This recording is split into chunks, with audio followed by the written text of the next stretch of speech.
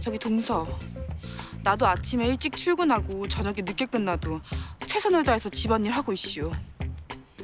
그런 말은 어머님한테 하세요. 어머님이 저보고 집안일을 신경 쓰지 말고 매장 일에만 전념하라고 했어요. 그러니까 앞으로 집안일 얘기하려면 저 말고 어머님한테 상의하세요. 그럼 아, 뭐 저런 게 다 있어.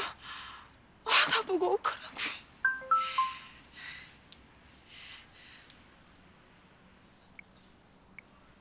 너 어디 있니?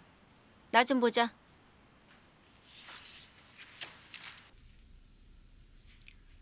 너 회사 그만둬라. 예? 아, 이거 무슨 말씀이신지. 작은 세액이 매장 맡게 됐잖아. 그러니까 네가 회사 그만두고 집에서 네 남편, 네 동서 그리고 가족들 뒷바라지 하라고. 어머님, 저 회사 그만 못 둬요. 뭐야? 그럼 지금 나보고 회사 다니는 며느리 두 명 뒷바라지 하라는 거야?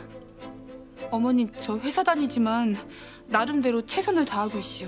아, 동서한테도 공평하게 집안일 나눠서 하라고 하고 어머니가 조금만 도와주시고 하면 넌 어쩜 애가 이렇게 이기적이니? 네 동서랑 너랑 같아? 네 동서 매장 네가 회사 다니면서 받는 월급이랑 비교할 수 있는 일인 줄 알아? 온 집안 식구가 달라붙어서 도와줘야 하는 일이라고.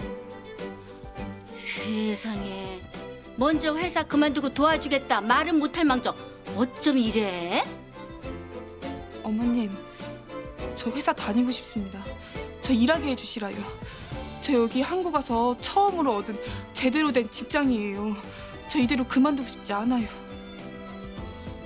그럼 살림은 어떻게 하겠다는 거니? 고모도 일하러 나가고 나도 히라 매장 가서 도와줘야 하는데 그럼 할머니한테 살림 하시라고 해? 아, 그건 그건 제가 최선을 다할게요. 길으니까 제발 일하게 해주시라요.